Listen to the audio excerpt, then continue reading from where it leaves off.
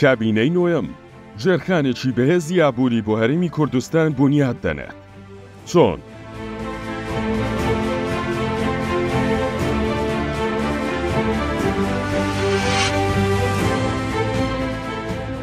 گرنگترین پڕۆژەی ستراتیژی لە سنووری ئیدارەی ڕاپەڕین جێبەجێ دەکات.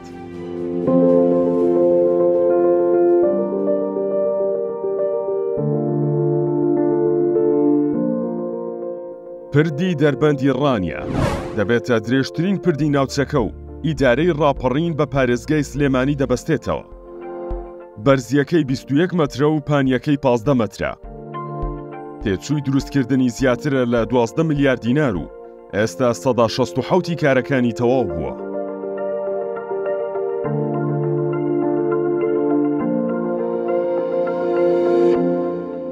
فەرمانگەی میدیا و زانیاری.